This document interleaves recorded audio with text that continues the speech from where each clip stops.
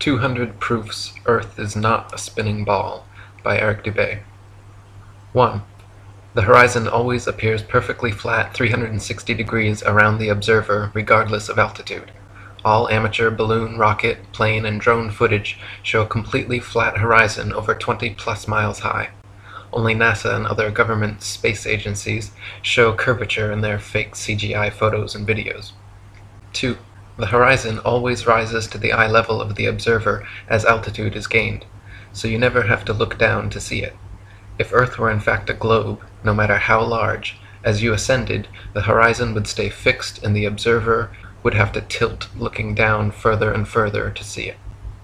3. The natural physics of water is to find and maintain its level. If Earth were a giant sphere tilted, wobbling, and hurtling through infinite space, then truly flat, consistently level surfaces would not exist here. But since Earth is in fact an extended flat plane, this fundamental physical property of fluids finding and remaining level is consistent with experience and common sense. 4. Rivers run down to sea level, finding the easiest course, north, south, east, west, and all other intermediary directions over the earth at the same time. If Earth were truly a spinning ball, then many of these rivers would be impossibly flowing uphill. For example, the Mississippi in its 3,000 miles would have to ascend 11 miles before reaching the Gulf of Mexico. 5. One portion of the Nile River flows for a thousand miles with a fall of only one foot. Parts of the West African Congo, according to the supposed inclination and movement of the ball earth, would be sometimes running uphill and sometimes down. This would also be the case for the Parana, Paraguay, and other long rivers. 6. If Earth were a ball 25,000 miles in circumference, as NASA and modern astronomy claim, Spherical trigonometry dictates the surface of all standing water must curve downward an easily measurable 8 inches per mile, multiplied by the square of the distance. This means along a 6 mile channel of standing water the earth would dip 6 feet on either end from the central peak. Every time such experiments have been conducted, however, standing water has proven to be perfectly level. 7.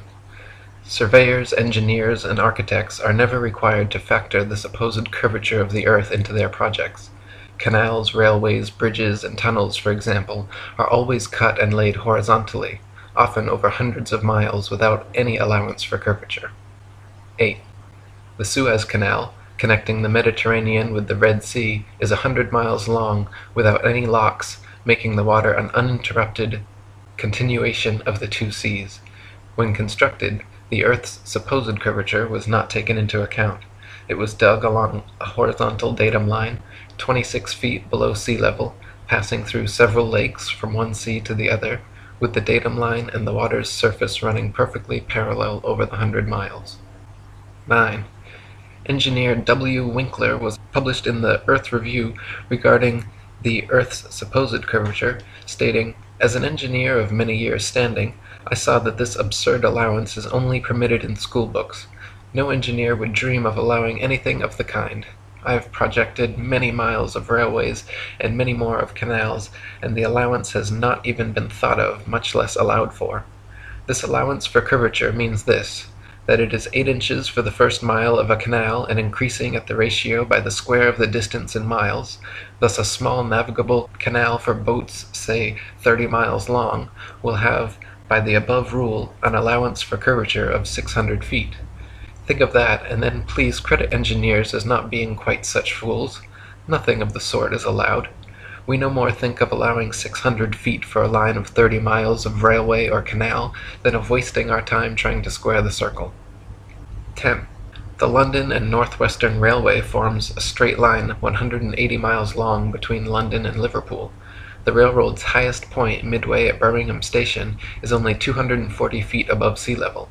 If the world were actually a globe, however, curving 8 inches per mile squared, the 180 mile stretch of rail would form an arc with the center point at Birmingham raised over a mile, a full 5,400 feet above London and Liverpool.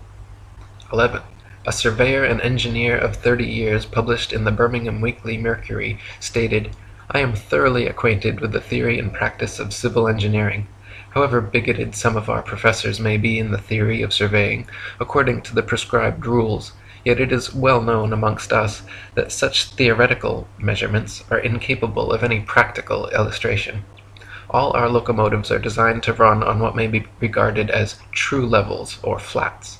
There are, of course, partial inclines or gradients here and there, but they are always accurately defined and must be carefully traversed but anything approaching to 8 inches in the mile, increasing as the square of the distance, could not be worked by any engine that was ever yet constructed. Taking one station with another, all over England and Scotland, it may be stated that all the platforms are on the same relative level. The distance between eastern and western coasts of England may be set down as 300 miles. If the prescribed curvature was indeed as represented, the central stations at Rugby or Warwick ought to be close upon three miles higher than a chord drawn from the two extremities. If such was the case, there is not a driver or stoker within the kingdom that would be found to take charge of the train. We can only laugh at those of your readers who seriously give us credit for such venturesome exploits as running trains round spherical curves. Horizontal curves on levels are dangerous enough. Vertical curves would be a thousand times worse, and with our rolling stock constructed as at present, physically impossible. 12. The Manchester Ship Canal Company published in the Earth Review stated, It is customary in railway and canal constructions for all levels to be referred to a datum which is nominally horizontal and is so shown on all sections. It is not the practice in laying out public works to make allowances for the curvature of the earth. 13. In a nineteenth century French experiment by M. M. Biot and Arago, a powerful lamp with good reflectors was placed on the summit of Desierto las Palmas in Spain, and able to be seen all the way from Capri on the island of Ibiza. Since the elevation of the two points were identical and the distance between covered nearly a hundred miles, if the earth were a ball 25,000 miles in circumference, the light should have been more than 6,600 feet a mile and a quarter below the line of sight. 14. The Lieutenant Colonel Portlock experiment used oxyhydrogen Drummond's lights and heliostats to reflect the sun's rays across stations set up across 108 miles of St. George's Channel. If the Earth were actually a ball 25,000 miles in circumference, Portlock's light should have remained hidden under a mile and a half of curvature. 15. If the Earth were truly a sphere 25,000 miles in circumference, airplane pilots would have to constantly correct their altitudes downwards so as to not fly straight off into outer space. A pilot wishing to simply maintain their altitude at a typical cruising speed of 500 miles per hour would have to constantly dip their nose downwards and descend 2,777 feet, over half a mile, every minute. Otherwise, without compensation, in one hour's time, the pilot would find themselves 31.5 miles higher than expected. 16. The experiment known as Airy's failure proved that stars move relative to a stationary Earth and not the other way around by first filling a telescope with water to slow down the speed of light inside, then calculating the tilt necessary to get the starlight directly down the tube, Airy failed to prove the heliocentric theory, since the starlight was already coming in the correct angle with no change necessary, and instead proved the geocentric model correct. 17. Olbers' paradox states that if there were billions of stars, which are suns, the night sky would be filled completely with light. As Edgar Allan Poe said, were the succession of stars endless, then the background of the sky would present us a uniform luminosity, since there could exist absolutely no point in all that background at which would not exist a star. In fact, Olbers' paradox is no more a paradox than George Airy's experiment was a failure. Both are actually excellent refutations of the heliocentric spinning ball Earth model. 18. The Michelson-Morley and Sagnac experiments attempted to measure the change in speed of light due to Earth's assumed motion through space. After measuring in every possible different direction in various locations, they failed to detect any significant change whatsoever, again proving the stationary geocentric model. 19. Tycho Brahe famously argued against the heliocentric theory in his time, positing that if the earth revolved around the sun, the change in relative position of the stars after six months' orbital motion could not fail to be seen. He argued that the stars should seem to separate as we approach and come together as we recede. In actual fact, however, after 190 million miles of supposed orbit around the sun, not a single inch of parallax can be detected in the stars, proving that we have not moved at all. 20. If Earth were truly constantly spinning eastwards at over a thousand miles per hour, vertically fired cannon balls and other projectiles should fall significantly due west. In actual fact, however, when this has been tested, vertically fired cannon balls shoot upwards an average of 14 seconds ascending, 14 seconds descending, and fall back to the ground no more than 2 feet away from the cannon, often directly back into the muzzle. 21. If the Earth were truly constantly spinning eastward at over a thousand miles per hour, helicopters and hot air balloons should be able to simply hover over the surface of the Earth and wait for their destinations to come to them. 22. If Earth were truly constantly spinning eastward at over a thousand miles per hour, during the Red Bull stratosphere dive, Felix Baumgartner, spending three hours ascending over New Mexico, should have landed 2,500 miles west into the Pacific Ocean, but instead landed a few dozen miles east of the takeoff point. 23. Ball believers often claim Gravity magically and inexplicably drags the entire lower atmosphere of the Earth in perfect synchronization up to some undetermined height, where this progressively faster spinning atmosphere gives way to the non spinning, non gravitized, non atmosphere of infinite vacuum space.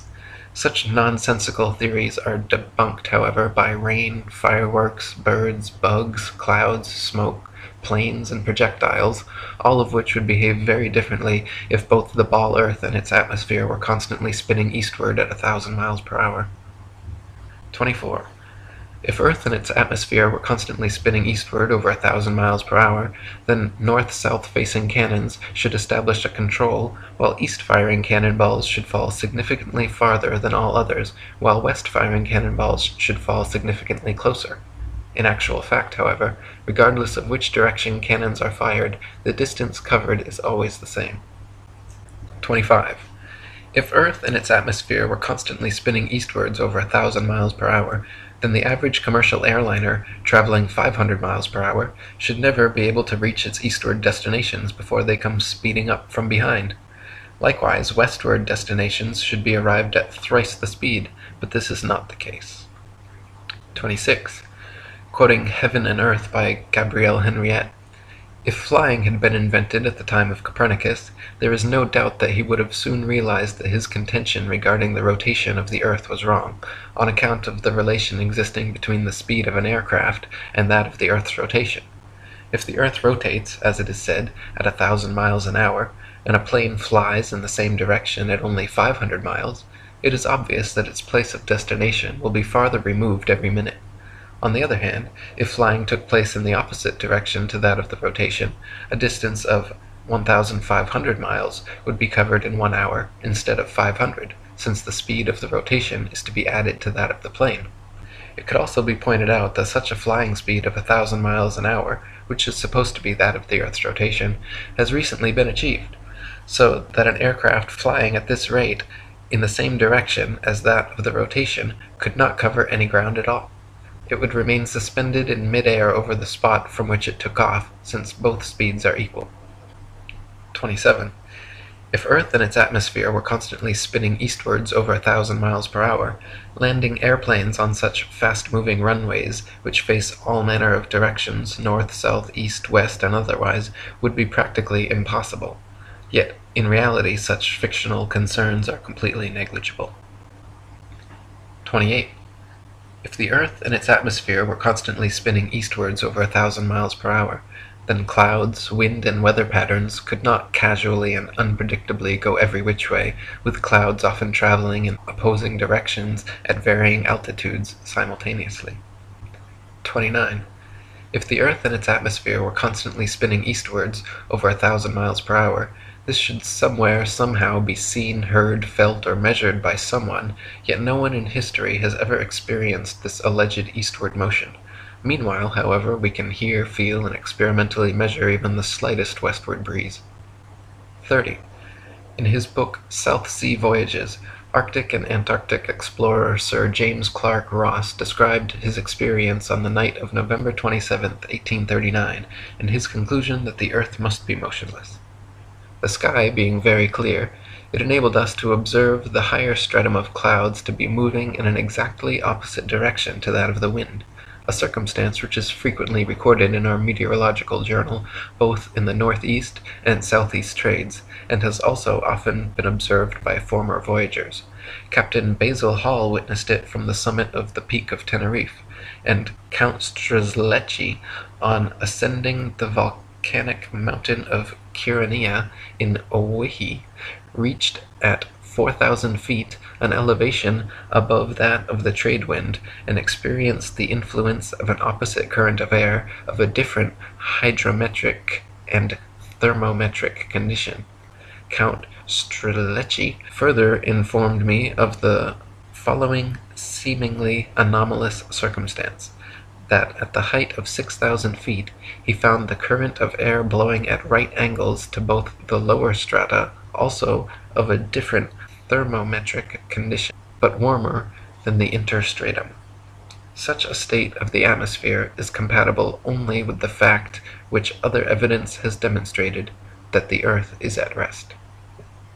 31. Quoting Zetetic Cosmogony, Thomas Winship states let imagination picture to the mind what force air would have which was set in motion by a spherical body of 8,000 miles in diameter, which in one hour was spinning round a thousand miles per hour, rushing through space at 65,000 miles per hour, and gyrating across the heavens. Then let conjecture endeavor to discover whether the inhabitants on such a globe could keep their hair on, if the earth globe rotates on its axis at the terrific rate of a thousand miles per hour, such an immense mass would of necessity cause a tremendous rush of wind in the space it occupied. The wind would go all one way, and anything like clouds which got within the sphere of influence of the rotating sphere would have to go the same way. The fact that the earth is at rest is proved by kite flying. 32. If gravity is credited with being a force strong enough to hold the world's oceans, buildings, people, and atmosphere stuck to the surface of a rapidly spinning ball, then it is impossible for gravity to also simultaneously be weak enough to allow little birds, bugs, and planes to take off and travel freely, unabated in any direction. 33. If gravity is credited with being a force strong enough to curve the massive expanse of oceans around a globular earth, it would be impossible for fish and other creatures to swim through such forcefully held water. 34. Ship captains in navigating great distances at sea never need to factor the supposed curvature of the earth into their calculations. Both plain sailing and great circle sailing, the most popular navigation methods, use plane, not spherical trigonometry, making all mathematical calculations on the assumption that the earth is perfectly flat. If the earth were in fact a sphere, such an errant assumption would lead to constantly glaring inaccuracies. Plain sailing has worked perfectly fine in both theory and practice for thousands of years, however, and plane trigonometry has time and again proven more accurate than spherical trigonometry in determining distances across the oceans. 35. If the earth were truly a globe, then every line of latitude south of the equator would have to measure a gradually smaller and smaller circumference the farther south traveled. If, however, the earth is an extended plane, then every line of latitude south of the equator should measure a gradually larger and larger circumference the farther south traveled. The fact that many captains navigating south of the equator, assuming the globular theory, have found themselves drastically out of reckoning, more so the farther south traveled, testifies to the fact that Earth is not a ball. 36. During Captain James Clark Ross's voyages around the Antarctic circumference, he often wrote in his journal, perplexed at how they routinely found themselves out of accordance with their charts, stating that they found themselves an average of 12 to 16 miles outside their reckoning every day, later on further south as much as 29 miles. 37. Lieutenant Charles Wilkes commanded a United States Navy exploration expedition to the Antarctic from 1838 to 1842, and in his journals also mentioned being consistently east of his reckoning, sometimes over 20 miles in less than 18 hours.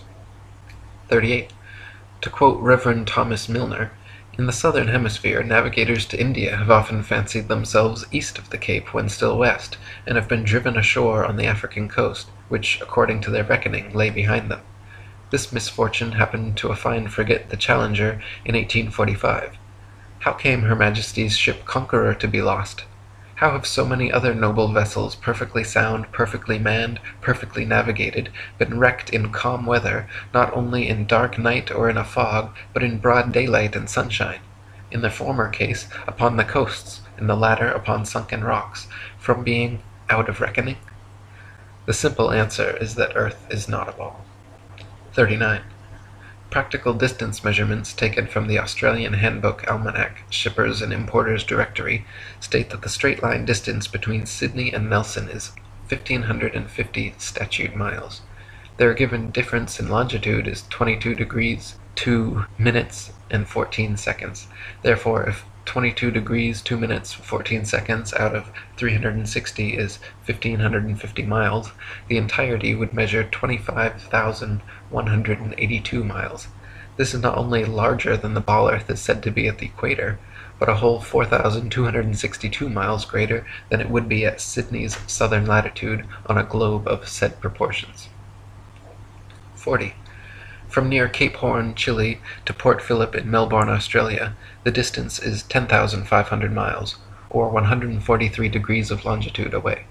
Factoring in the remaining degrees to 360 makes for a total distance of 26,430 miles around this particular latitude, which is over 1,500 miles wider than the earth is supposed to be at the equator, and many more thousands of miles wider than it is supposed to be at such southern latitudes. 41. Similar calculations made from the Cape of Good Hope, South Africa, to Melbourne, Australia, at an average latitude of 35.5 degrees south, have given an approximate figure of over 25,000 miles, which is again equal to or greater than the earth's supposed greatest circumference at the equator. Calculations from Sydney, Australia, to Wellington, New Zealand, at an average of 37.5 degrees south, have given an approximate circumference of 25,500 miles, greater still. According to the ball earth theory, the circumference of the earth at 37.5 degrees southern latitude should be only 19,757 statute miles, almost 6,000 miles less than such practical measurements. 42. In the ball earth model, Antarctica is an ice continent which covers the bottom of the ball from 78 degrees south latitude to 90 and is therefore not more than 12,000 miles in circumference. Many early explorers, including Captain Cook and James Clark Ross, however, in attempting Antarctic circumnavigation, took three to four years and clocked fifty to sixty thousand miles around. The British ship Challenger also made an indirect but complete circumnavigation of Antarctica, traversing 69,000 miles. This is entirely inconsistent with the ball model. 43. If Earth was a ball, there are several flights in the southern hemisphere which would have their quickest, straightest path over the Antarctic continent, such as Santiago, Chile, to Sydney, Australia, instead of taking the shortest, quickest route in a straight line over Antarctica, all such flights detour all manner of directions away from Antarctica, instead claiming the temperatures too cold for airplane travel. Considering the fact that there are plenty of flights to, from, and over Antarctica, and NASA claims to have technology keeping them in conditions both far colder and far hotter than any experienced on Earth. Such an excuse is clearly just an excuse, and these flights aren't made because they are impossible. 44. If Earth was a ball, and Antarctica was too cold to fly over, the only logical way to fly from Sydney to Santiago would be a straight shot over the Pacific, staying in the southern hemisphere the entire way. Refueling could be done in New Zealand or other southern hemisphere destinations along the way, if absolutely necessary. In actual fact, however, Santiago to Sydney flights go into the northern hemisphere, making stopovers at LAX and other North American airports before continuing back down to the southern hemisphere. Such ridiculously wayward detours make no sense on the globe, but make perfect sense and form nearly straight lines when shown on a flat earth map. 45. On a ball Earth, Johannesburg, South Africa to Perth, Australia should be a straight shot over the Indian Ocean, with convenient refueling possibilities on Mauritius or Madagascar. In actual practice, however, most Johannesburg to Perth flights curiously stop over either in Dubai, Hong Kong, or Malaysia, all of which make no sense on the ball, but are completely understandable when mapped on a flat earth. 46. On a ball earth, Cape Town, South Africa to Buenos Aires, Argentina should be a straight shot over the Atlantic following the same line of latitude across. But instead, every flight goes to connecting locations in the northern hemisphere first, stopping over anywhere from London to Turkey to Dubai. Once again, these make absolutely no sense on the globe, but are completely understandable options when mapped on a flat earth. 47. On a ball earth, Johannesburg, South Africa to Sao Paulo, Brazil should be a quick straight shot along the 25th southern latitude, but instead, nearly every flight makes a refueling stop at the 50th degree north latitude in London first. The only reason such a ridiculous stopover works in reality is because the earth is flat. 48. On a ball earth, Santiago, Chile to Johannesburg, South Africa should be an easy flight all taking place below the Tropic of Capricorn in the southern hemisphere. Yet every listed flight makes a curious refueling stop in Senegal near the Tropic of Cancer in the north hemisphere first. When mapped on a flat earth, the reason why is clear to see, however. Senegal is actually directly in a straight line path halfway between the two. 49. If Earth were a spinning ball heated by a sun 93 million miles away, it would be impossible to have simultaneously sweltering summers in Africa, while just a few thousand miles away bone-chilling frozen Arctic and Antarctic winters experiencing little to no heat from the sun whatsoever. If the heat from the sun traveled 93 million miles to the Sahara Desert, it is absurd to assert that another 4,000 miles (0.00004%) further to Antarctica would completely negate such sweltering heat, resulting in such drastic differences. 50. If the earth were truly a globe, the Arctic and Antarctic polar regions and areas of comparable latitude north and south of the equator should share similar conditions and characteristics, such as comparable temperatures, seasonal changes, length of daylight, plant and animal life. In reality, however, the Arctic and Antarctic regions, and areas of comparable latitude north and south of the equator, differ greatly in many ways entirely inconsistent with the ball model and entirely consistent with the flat model. 51.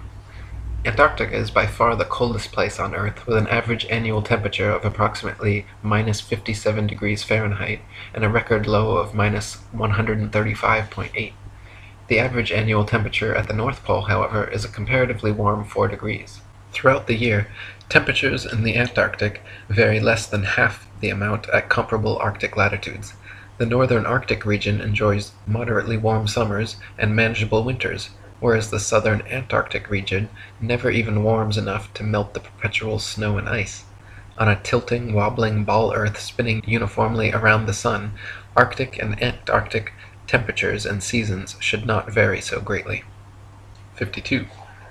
Iceland, at 65 degrees north latitude, is home to 870 species of native plants and abundant various animal life. Compare this with the Isle of Georgia at just 54 degrees south latitude, where there are only 18 species of native plants and animal life is almost non-existent. The same latitude as Canada or England in the north, where dense forests of various tall trees abound, the infamous Captain Cook wrote of Georgia that he was unable to find a single shrub large enough to make a toothpick. Cook wrote, Not a tree was to be seen. The lands which lie to the south are doomed by nature to perpetual frigidness, never to feel the warmth of the sun's rays, whose horrible and savage aspect I have not words to describe.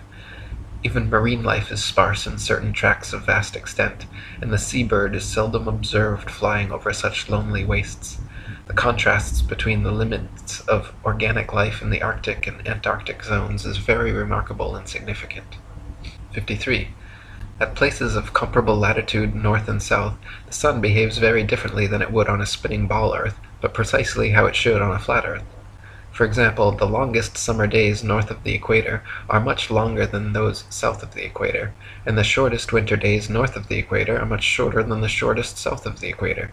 This is inexplicable on a uniformly spinning, wobbling ball Earth, but fits exactly on a flat model with the sun traveling circles over and around the Earth from tropic to tropic. 54. At places of comparable latitude north and south, Dawn and dusk happen very differently than they would on a spinning ball, but precisely how they should on a flat earth. In the north, dawn and dusk come slowly and last far longer than in the south, where they come and go very quickly. Certain places in the north twilight can last for over an hour, while at comparable southern latitudes within a few minutes the sunlight completely disappears. This is inexplicable on a uniformly spinning, wobbling ball earth, but is exactly what is expected on a flat earth with the sun traveling faster wider circles over the south and slower narrower circles over the north. 55. If the sun circles over and around the earth every 24 hours, steadily traveling from tropic to tropic every six months, it follows that the northern central region would annually receive far more heat and sunlight than the southern circumferential region. Since the sun must sweep over the larger southern region in the same 24 hours it has to pass over the smaller northern region, its passage must necessarily be proportionally faster as well. This perfectly explains the differences in Arctic and Antarctic temperatures, seasons, length of daylight, plant and animal life. This is why the Antarctic morning dawn and evening twilight are very abrupt compared with the North, and this explains why many midsummer Arctic nights the sun does not set at all. 56. The midnight sun is an Arctic phenomenon occurring annually during the summer solstice, where for several days straight an observer significantly far enough north can watch the sun traveling circles overhead, rising and falling in the sky throughout the day, but never fully setting for upwards of 72 plus hours. If the earth were actually a spinning globe revolving around the sun, the only place such a phenomenon as the midnight sun could be observed would be at the poles. Any other vantage point from 89 degrees latitude downwards could never, regardless of any tilt or inclination, see the sun for 24 hours straight. To see the sun for an entire revolution on a spinning globe at a point other than the poles, you would have to be looking through miles and miles of land and sea for part of the revolution. 57. The establishment claims the midnight sun is experienced in Antarctica, but they conveniently do not have any uncut videos showing this, nor do they allow independent explorers to travel to Antarctica during the winter solstice to verify or refute these claims. Conversely, there are dozens of uncut videos publicly available showing the Arctic midnight sun, and it has been verified beyond any shadow of a doubt. 58. The Royal Belgian Geographical Society in their Expedition Antarctique Belge recorded that during the most severe part of the Antarctic winter, from 71 degrees south latitude onwards, the sun sets on May 17th and is not seen above the horizon again until July 21st. This is completely at odds with the ball earth theory, but easily explained by the flat earth model. The midnight sun is seen from high altitudes in extreme northern latitudes during Arctic summer because the sun, at its innermost cycle, is circling tightly enough around the polar center that it remains visible above the horizon for someone at such a vantage point. Likewise, in extreme southern latitudes during Arctic summer, the sun completely disappears from view for over two months, because there, at the northern tropic, the innermost arc of its boomerang journey, the sun is circling the northern center too tightly to be seen from the southern circumference. 59. Quoting Gabrielle Henriette, the theory of the rotation of the earth may once and for all be definitely disposed of as impracticable by pointing out the following inadvertence.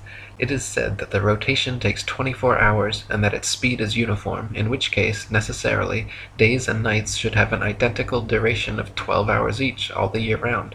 The sun should invariably rise in the morning and set in the evening at the same hours, with the result that it would be the equinox every day from the 1st of January to the 31st of December. One should stop and reflect on this before saying that the earth has a movement of rotation. How does the system of gravitation account for the seasonal variations in the length of days and nights if the Earth rotates at a uniform speed in 24 hours? 60.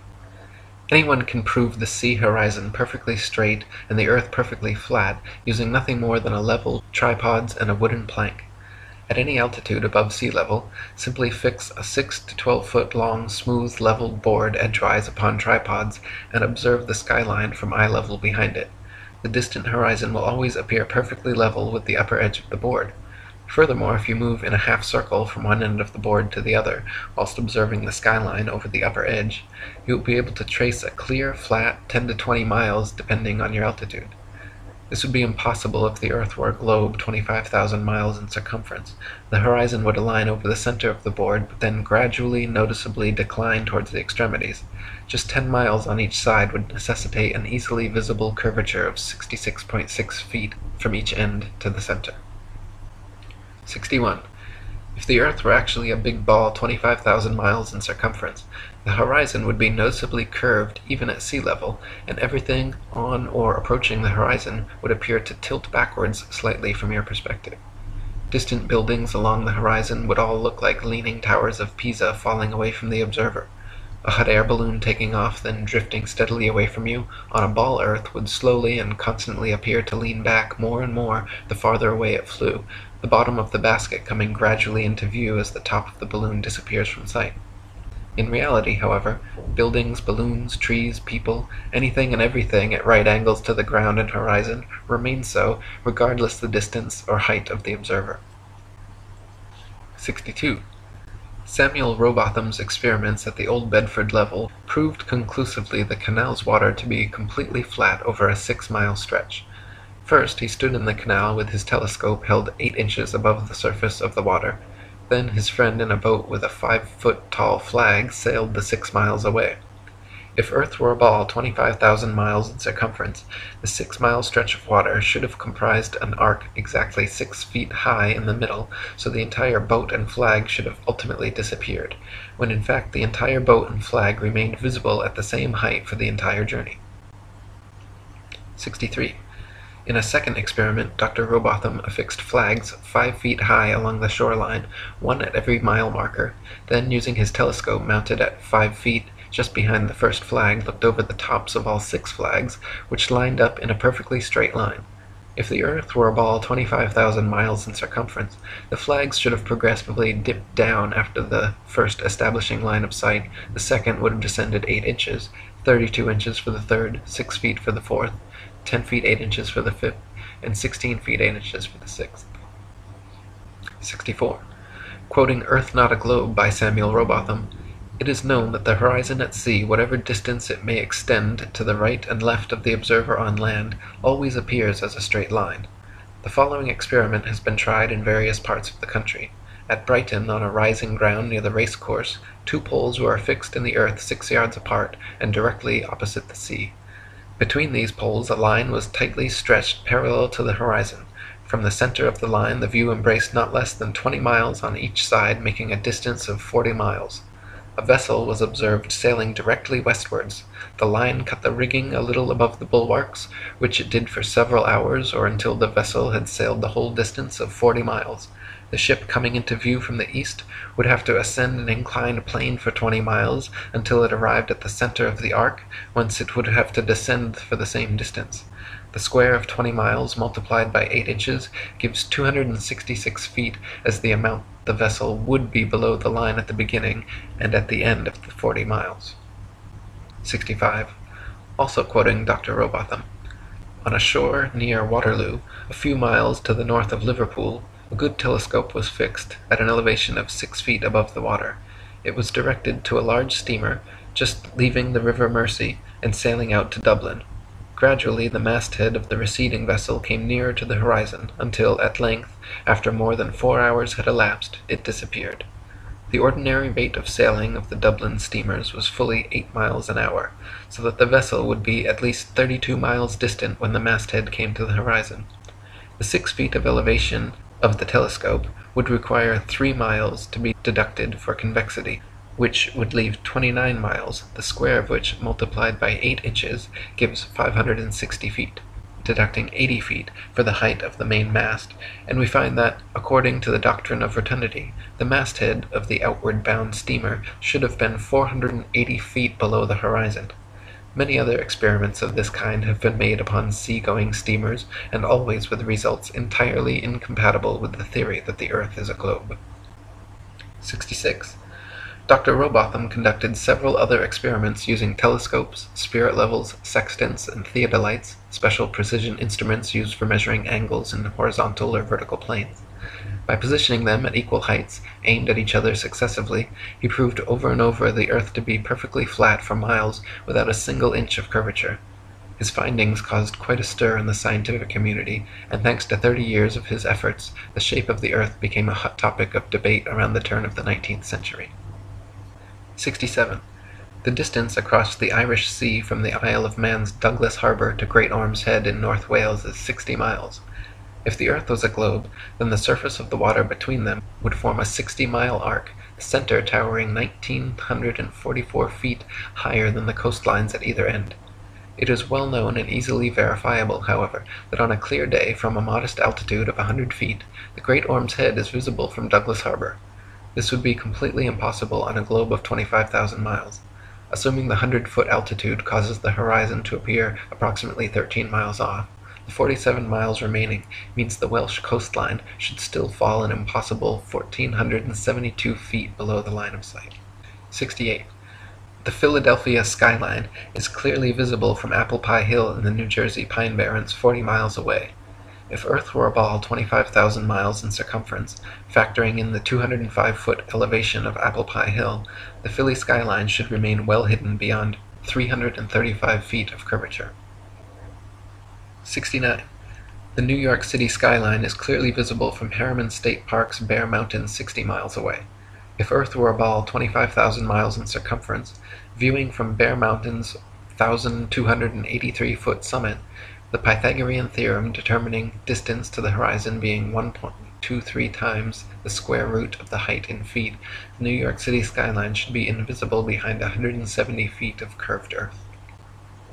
70. From Washington's Rock in New Jersey, at just a 400 foot elevation, it is possible on a clear day to see the skylines of both New York and Philadelphia in opposite directions at the same time, covering a total distance of 120 miles. If Earth were a ball 25,000 miles in circumference, both of these skylines should be hidden behind over 800 feet of Earth's curvature. 71. It is often possible to see the Chicago skyline from sea level 60 miles away across Lake Michigan.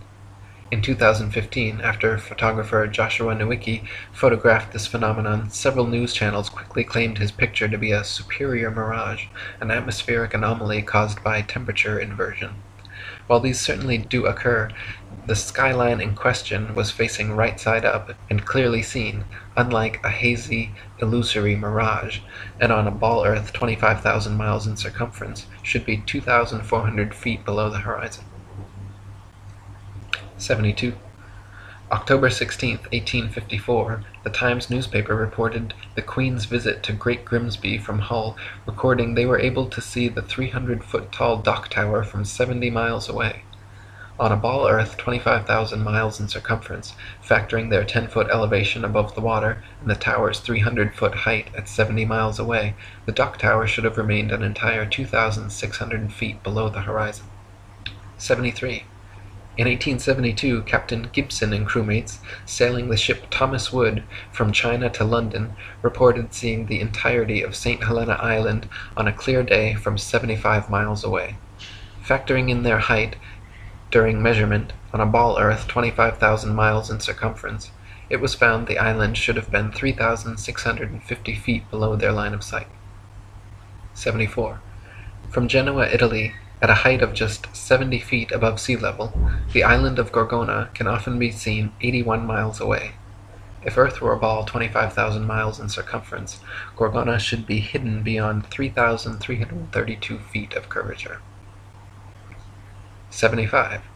From Genoa, Italy, at a height of just 70 feet above sea level, the island of Corsica can often be seen 99 miles away.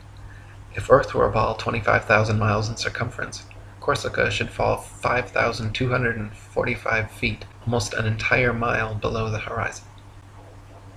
76. From Genoa, Italy, 70 feet above sea level, the island of Caprea, 102 miles away, can often be seen as well.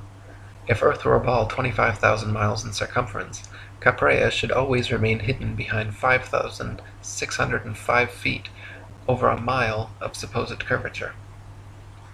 77. Also from Genoa, on bright clear days, the island of Elba can be seen an incredible 125 miles away. If Earth were a ball 25,000 miles in circumference, Elba should be forever invisible behind 8,770 feet of curvature. 78. From Anchorage, Alaska, at an elevation of 102 feet, on clear days, Mount Foraker can be seen with the naked eye 120 miles away. If Earth were a ball 25,000 miles in circumference, Mount Foraker's 17,400 foot summit should be leaning back away from the observer, covered by 7,719 feet of curved earth. In reality, however, the entire mountain can be quite easily seen standing straight from base to summit. 79. From Anchorage, Alaska, at an elevation of 102 feet, on clear days Mount McKinley can be seen with the naked eye from 130 miles away. If Earth were a ball 25,000 miles in circumference, Mount McKinley's 20,320 foot summit should be leaning back away from the observer and almost half covered by 9,220 feet of curved earth. In reality, however, the entire mountain can be quite easily seen standing straight from base to summit. 80. In Chambers' Journal, February 1895, a sailor near Mauritius in the Indian Ocean reported having seen a vessel which turned out to be an incredible 200 miles away. The incident caused much heated debate in nautical circles at the time, gaining further confirmation in Aden, Yemen, where another witness reported seeing a missing Bombay steamer from 200 miles away. He correctly stated the precise appearance, location, and direction of the steamer, all later corroborated and confirmed correct by those on board. Such sightings are absolutely inexplicable if the earth were actually a ball 25,000 miles around, as ships 200 miles distant would have to fall approximately 5 miles below line of sight. 81. The distance from which various lighthouse lights around the world are visible at sea far exceeds what could be found on a ball earth 25,000 miles in circumference. For example, the Dunkirk light in southern France, at an altitude of 194 feet, is visible from a boat 10 feet above sea level, 28 miles away. Spherical trigonometry dictates that if the earth was a globe with the given curvature of 8 inches per mile squared, this light should be hidden 190 feet below the horizon. 82. The Port Nicholson light in New Zealand is 420 feet above sea level and visible from 35 miles away, where it should be 220 feet below the horizon. 83. The Egero light in Norway is 154 feet above high water and visible from 28 statute miles, where it should be 230 feet below the horizon. 84. The light at Madras on the Esplanade is 132 feet high and visible from 28 miles away, where it should be 250 feet below the line of sight. 85. The Cordonan light on the west coast of France is 207 feet high and visible from 31 miles away, where it should be 280 feet below the line of sight. 86. The light at Cape Bonavista, Newfoundland, is 150 feet above sea level and visible at 35 miles, where it should be 491 feet below the horizon. 87. The lighthouse steeple of St. Botolph's Parish Church in Boston is 290 feet tall and visible from over 40 miles away, where it should be hidden a full 800 feet below the horizon. 88. The Isle of Wight lighthouse in England is 180 feet high and can be seen up to 42 miles away, a distance at which modern astronomers say the light should fall 996 feet below the line of sight. 89. The Cape L'Agulhas lighthouse in South Africa is 33 feet high, 238 feet above sea level, and can be seen for over 50 miles. If the world were a globe, this light would fall 1,400 feet below an observer's line of sight. 90. The Statue of Liberty in New York stands 326 feet above sea level, and on a clear day can be seen as far as 60 miles away. If the earth were a globe, that would put Lady Liberty at an impossible 2,074 feet below the horizon. 91. The lighthouse at Port Said, Egypt, at an elevation of only 60 feet, has been seen an astonishing 58 miles away, where, according to modern astronomy, it should be 2,182 feet below the line of sight. 92. The Notre Dame Antwerp spire stands 403 feet high from the foot of the tower, with Strasbourg measuring 468 feet above sea level. With the aid of a telescope, ships can be distinguished on the horizon, and captains declare they can see the cathedral spire from an amazing 150 miles away. If the earth were a globe, however, at that distance the spire should be an entire mile, 5,280 feet below the horizon. 93. The St. George's Channel between Holyhead and Kingstown Harbour near Dublin is 60 miles across. When halfway across, a ferry passenger will notice behind them the light on Holyhead Pier as well as in front of them the Poolbeg light in Dublin Bay. The Holyhead Pier light is 44 feet high, while the Poolbeg lighthouse 68 feet. Therefore a vessel in the middle of the channel, 30 miles from either side, standing on a deck 24 feet above the water, can clearly see both lights.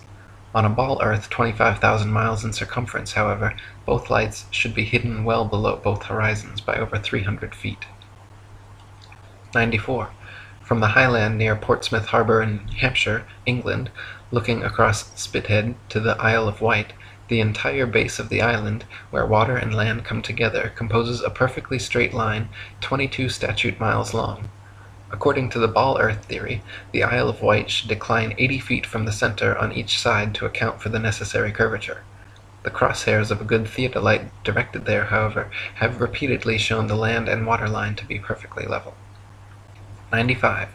On a clear day from the High Head near Douglas Harbour on the Isle of Man, the whole length of the coast of North Wales is often plainly visible to the naked eye from the point of Ayr at the mouth of the River Dee to Holyhead, comprises a 50 mile stretch which has also been repeatedly found to be perfectly horizontal.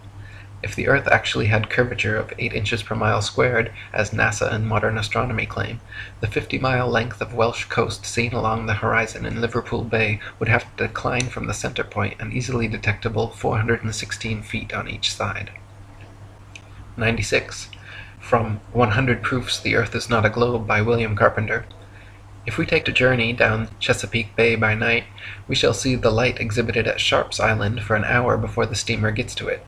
We may take up a position on deck so that the rail of the vessel's side will be in a line with the light and in the line of sight, and we shall find that in the whole journey the light won't vary in the slightest degree in its apparent elevation.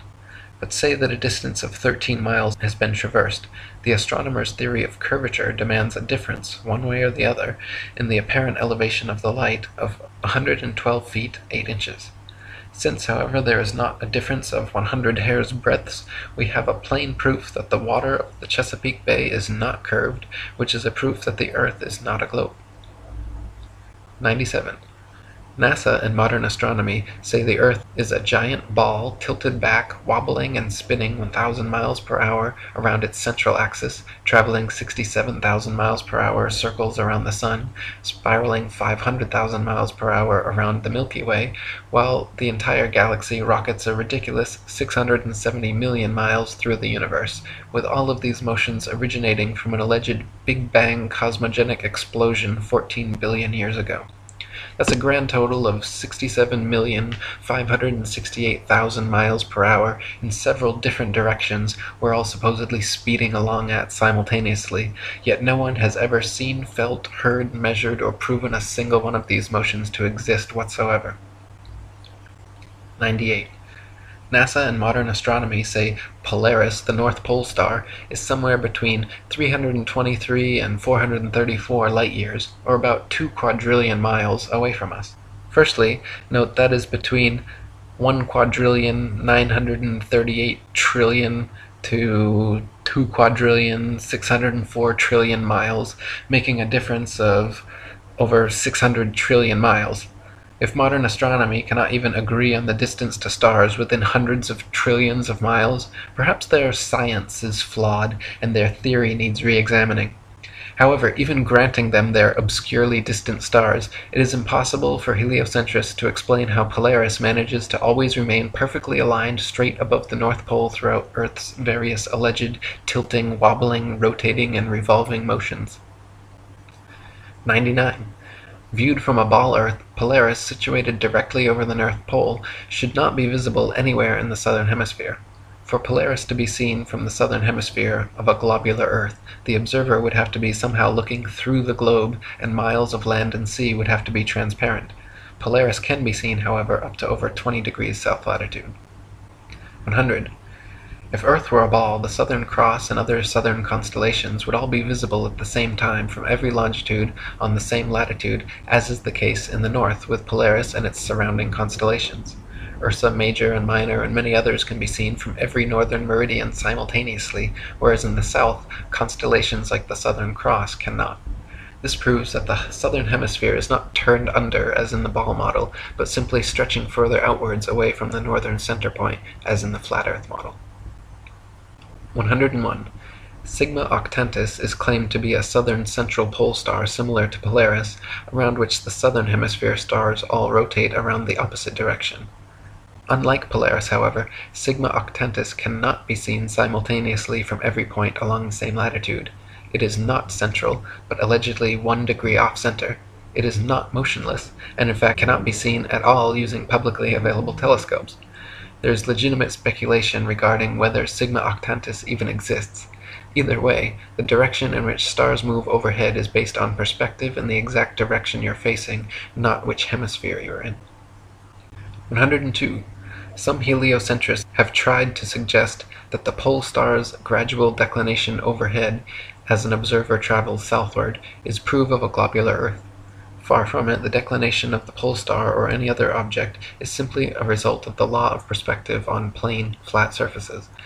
The law of perspective dictates that the angle and height at which an object is seen diminishes the farther one recedes from the object, until at a certain point the line of sight and the seemingly uprising surface of the earth converges to a vanishing point, i.e. the horizon line, beyond which the object is invisible. In the ball earth model, the horizon is claimed to be the curvature of the earth, whereas in reality, the horizon is known to simply be the vanishing line of perspective based on the strength of your eye's instruments, weather, and altitude. 103. There are several constellations which can be seen from far greater distances over the face of the earth than should be possible if the world were a rotating, revolving, wobbling ball. For instance, Ursa Major, very close to Polaris, can be seen from 90 degrees north latitude, the North Pole, all the way down to 30 degrees south latitude. For this to be possible on a ball Earth, the southern observers would have to be seeing through hundreds or thousands of miles of bulging Earth to the northern sky. 104. The constellation Vulpecula can be seen from 90 degrees north latitude all the way to 55 degrees south latitude. Taurus, Pisces, and Leo can be seen from 90 degrees north all the way to 65 degrees south. An observer on a ball Earth, regardless of any tilt or inclination, should not logically be able to see this far. 105. Aquarius and Libra can be seen from 65 degrees north to 90 degrees south. The constellation Virgo is visible from 80 degrees north down to 80 degrees south, and Orion can be seen from 85 degrees north all the way to 75 degrees south latitude. These are all only possible because the hemispheres are not spheres at all, but concentric circles of latitude extending outwards from the central North Pole, with the stars rotating over and around. 106. The so-called South Pole is simply an arbitrary point along the Antarctic ice marked with a red and white barbershop pole topped with a metal ball earth. The ceremonial South Pole is admittedly and provably not the actual South Pole, however, because the actual South Pole could be demonstrably confirmed with the aid of a compass showing north to be 360 degrees around the observer. Since this feat has never been achieved, the model remains pure theory, along with the establishment's excuse that the geomagnetic poles supposedly constantly move around making verifications of their claims impossible. 107.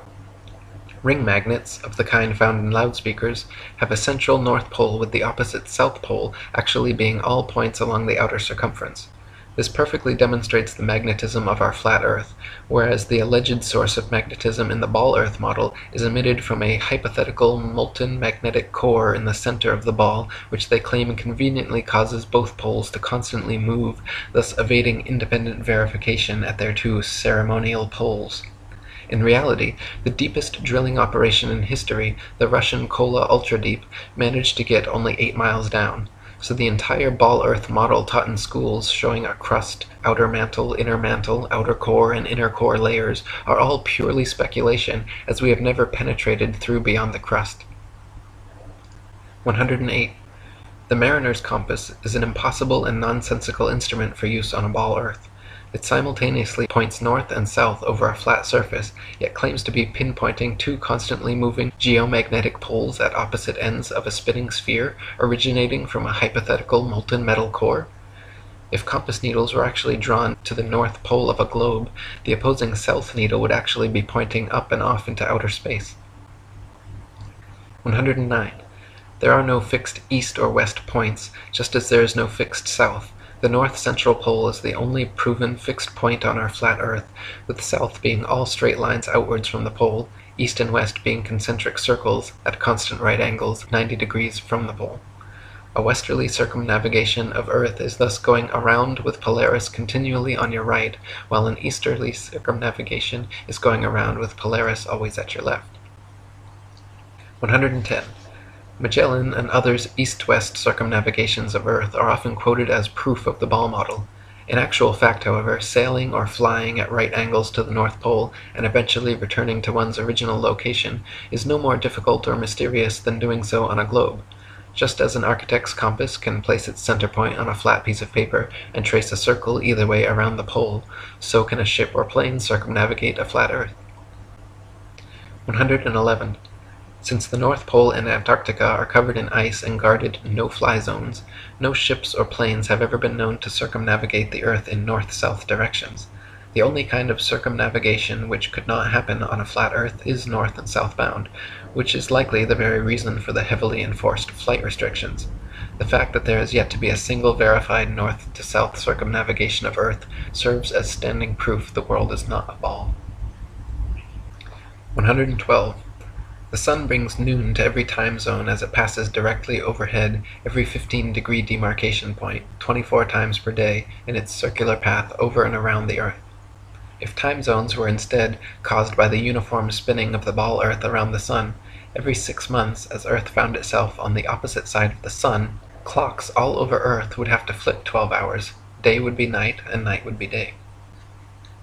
113.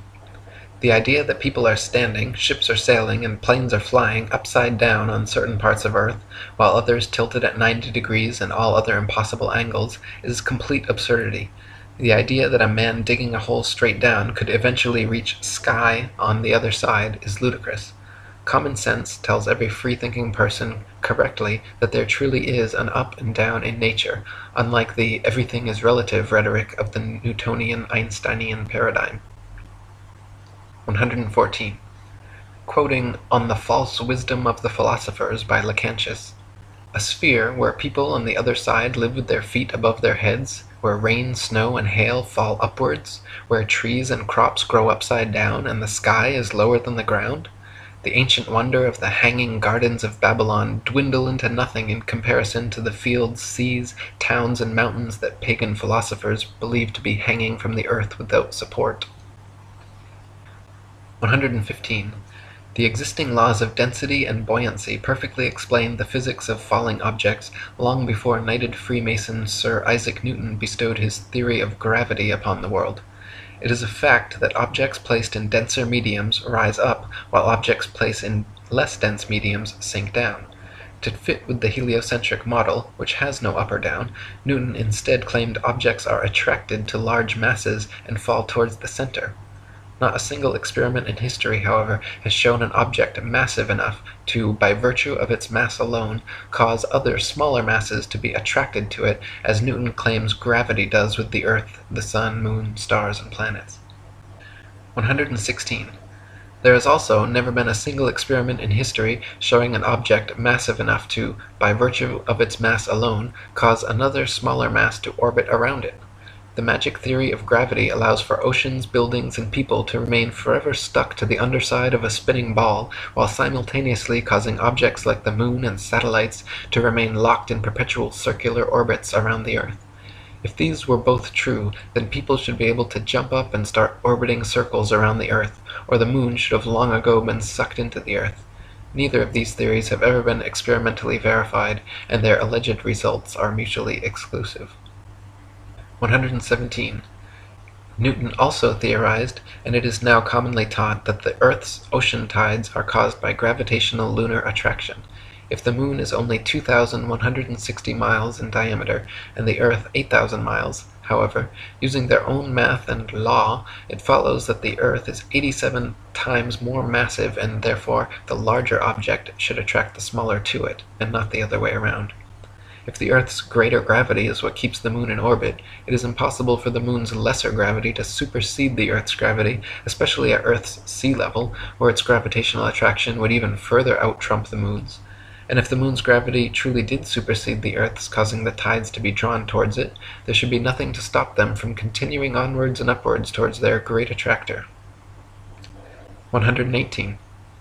Furthermore, the velocity and path of the moon are uniform, and should therefore exist a uniform influence on the earth's tide, when in actuality earth's tides vary greatly, and do not follow the moon. Earth's lakes, ponds, marshes, and other inland bodies of water also inexplicably remain forever outside the moon's gravitational grasp. If gravity was truly drawing Earth's oceans up to it, all lakes, ponds, and other bodies of standing water should certainly have tides as well. 119. It is claimed that the other planets are spheres, and so therefore Earth must also be a sphere. Firstly, Earth is a plane, not a planet, so the shape of these planets in the sky have no bearing on the shape of the earth beneath our feet. Secondly, these planets have been known for thousands of years around the world as wandering stars, since they differ from the other fixed stars in their relative motions only. When looked at with an unprejudiced naked eye or through a telescope, the fixed and wandering stars appear as luminous disks of light, not spherical terra firma. The pictures and videos shown by NASA of spherical terra firma planets are all clearly fake computer-generated images and not photographs. 120. The etymology of the word planet actually comes from the late Old English planet, or from Old French planet, from Latin planeta, from Greek planetes, planetae, wandering stars, or to wander of unknown origin, uh, to spread, or notion of spread out, from Latin planum, flat surface, plane, level, plane. They just added a T to our Earth plane, and everyone bought it. 121. When you observe the sun and moon, you see two equally sized equidistant circles tracing similar paths at similar speeds around a flat stationary Earth. The experts at NASA, however, claim your common sense everyday experience is false on all counts. To begin with, they say the Earth is not flat but a big ball, not stationary, but spinning around 19 miles per second. They say the sun does not revolve around the earth as it appears, but earth revolves around the sun. The moon, on the other hand, does revolve around the earth, though not east to west as it appears, rather west to east, and the sun is actually 400 times larger than the moon and 400 times farther away. You can clearly see they are the same size and distance. You can see the earth is flat, you can feel the earth is stationary, but according to the gospel of modern astronomy, you are wrong and a simpleton worthy of endless ridicule if you dare to trust your own eyes and experience. 122. Quoting Alan Daves If the government or NASA had said to you that the Earth is stationary, imagine that. And then imagine we are trying to convince people that no, no, it's not stationary, it's moving forward at 32 times rifle bullet speed and spinning at a thousand miles per hour. We would be laughed at, we would have so many people telling us, you're crazy, the earth's not moving. We would be ridiculed for having no scientific backing for this convoluted moving earth theory. And not only that, but then people would say, oh, then how do you explain a fixed calm atmosphere and the sun's observable movement? How do you explain that? Imagine saying to people, no, no, the atmosphere is moving also, but is somehow magically velcroed to the moving earth. The reason is not simply because the earth is stationary. So what we are actually doing is what makes sense. We are saying that the moving earth theory is nonsense. The stationary earth theory makes sense, and we are being ridiculed. You've got to picture it being the other way around to realize just how ridiculous the situation is. This theory from the government and NASA that the Earth is rotating and orbiting and leaning over and wobbling is absolute nonsense, and yet people are clinging to it tightly like a teddy bear. They just can't bring themselves to face the possibility that the Earth is stationary, though all evidence shows it. We feel no movement, the atmosphere hasn't been blown away, we see the sun move from east to west. Everything can be explained by a motionless earth without bringing in all these assumptions to cover up previous assumptions gone bad. 123. Heliocentrists' astronomical figures always sound perfectly precise, but they have historically been notorious for regularly and drastically changing them to suit their various models. For instance, in his time, Copernicus calculated the sun's distance from Earth to be 3,391,200 miles. The next century, Johannes Kepler decided it was actually 12,376,800 miles away. Isaac Newton once said, It matters not whether we reckon it 28 or 54 million miles distant, for either would do just as well. How scientific! Benjamin Martin calculated between 81 and 82 million miles. Thomas Dilworth claimed 93,726,900 miles. John Hind stated positively 95,298,260 miles.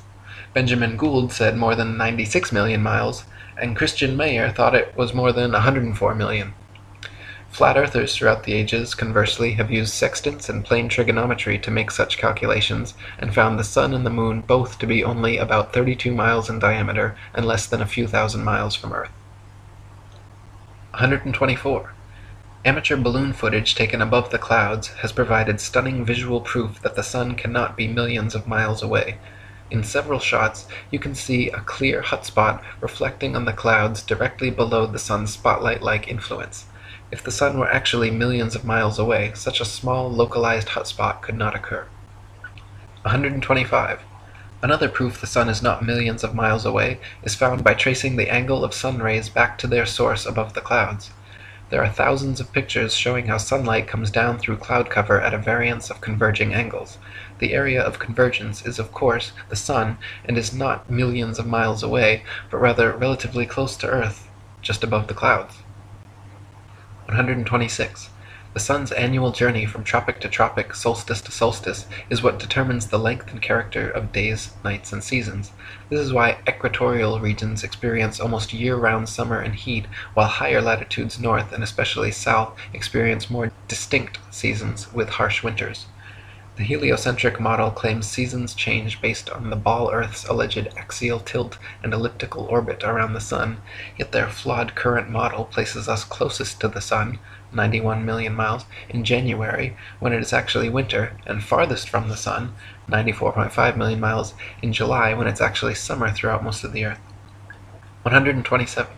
The fact that the sun and moon's reflections on water always form a straight line path from the horizon to the observer proves the earth is not a ball.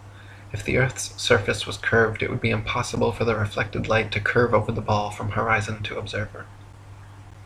128. There are huge centuries-old stone sundials and moondials all over the world which still tell the time now down to the minute as perfectly as the day they were made. If the earth, sun, and moon were truly subject to the number of contradictory, revolving, rotating, wobbling, and spiraling motions claimed by modern astronomy, it would be impossible for these monuments to so accurately tell time without constant adjustment. 129. To quote William Carpenter, why in the name of common sense should observers have to fix their telescopes on solid stone bases so that they should not move a hair's breadth? If the earth on which they fix them moves at the rate of 19 miles in a second. Indeed, to believe that 6,000 million million million tons is rolling, surging, flying, darting on through space forever with a velocity compared with which a shot from a cannon is a very slow coach, with such unerring accuracy that a telescope fixed on granite pillars in an observatory will not enable a lynx-eyed astronomer to detect a variation in its onward motion of the thousandth part of a hair's breadth is to conceive a miracle compared with which all the miracles on record put together would sink into utter insignificance since we can, in middle north latitudes, see the North Star, on looking out of a window that faces it, and out of this very same corner of the very same pane of glass in the very same window, all the year round, it is proof enough for any man in his senses that we have not made any motion at all and that the earth is not a globe. 130. From Earth Not a Globe by Samuel Rowbotham.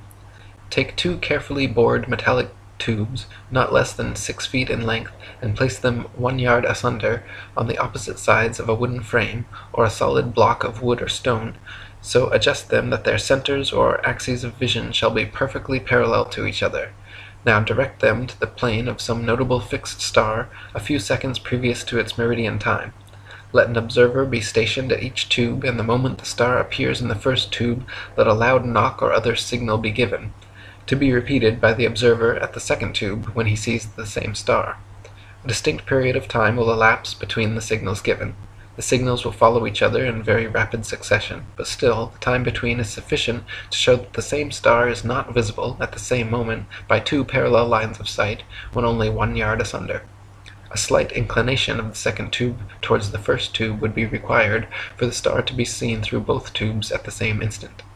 Let the tubes remain in their positions for six months, at the end of which time the same observation or experiment will produce the same results the star will be visible at the same meridian time without the slightest alteration being required in the direction of the tubes, from which it is concluded that if the earth had moved one single yard in an orbit through space, there would at least be observed the slight inclination of the tube which the difference in position of one yard had previously required.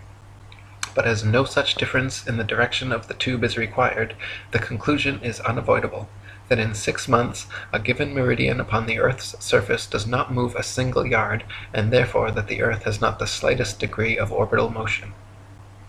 131. NASA and modern astronomy maintain that the moon is a solid, spherical, earth-like habitation which man has actually flown to and set foot on. They claim the moon is a non-luminescent planetoid which receives and reflects all its light from the sun. The reality is, however, that the moon is observably not a solid body, it is clearly circular, but not spherical, and not in any way an Earth-like planetoid which humans could set foot on. In fact, the moon has been proven largely transparent and completely self-luminescent, shining with its own unique light. 132. The sun's light is golden, warm, drying, preservative, and antiseptic, while the moon's light is silver, cool, damp, putrefying, and septic. The sun's rays decrease the combustion of a bonfire, while the moon's rays increase combustion. Plant and animal substances exposed to sunlight quickly dry, shrink, coagulate, and lose the tendency to decompose and putrefy. Grapes and other fruits become solid, partially candied and preserved, like raisins, dates, and prunes. Animal flesh coagulates, loses its volatile gaseous constituents, becomes firm, dry, and slow to decay. When exposed to moonlight, however, plant and animal substances tend to show symptoms of putrefaction and decay. This proves that sun and moonlight are different, unique, and opposites, as they are in the geocentric flat model. 133. In direct sunlight, a thermometer will read higher than another thermometer placed in the shade, but in full direct moonlight, a thermometer will read lower than another placed in the shade. If the sun's light is collected in a large lens and thrown to a focus point, it can create significant heat, while the moon's light collected similarly creates no heat. In the Lancet Medical Journal from March 14, 1856, particulars are given of several experiments which prove the moon's rays, when concentrated, can actually reduce the temperature upon a thermometer more than 8 degrees, so sunlight and moonlight clearly have altogether different properties. 134. Furthermore, the moon itself cannot physically be both a spherical body and a reflector of the sun's light. Reflectors must be flat or concave for light rays to have any angle of incidence. If a reflector's surface is convex, then every ray of light points in a direct line with the radius perpendicular to the surface, resulting in no reflection. 135. Not only is the moon clearly self-luminescent, shining its own unique light, but it is also largely transparent.